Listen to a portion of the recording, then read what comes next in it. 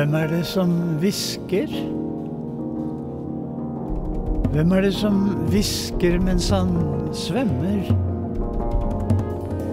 Hvem er det som sender ham et langt hviskende brev mens han svømmer over fjorden?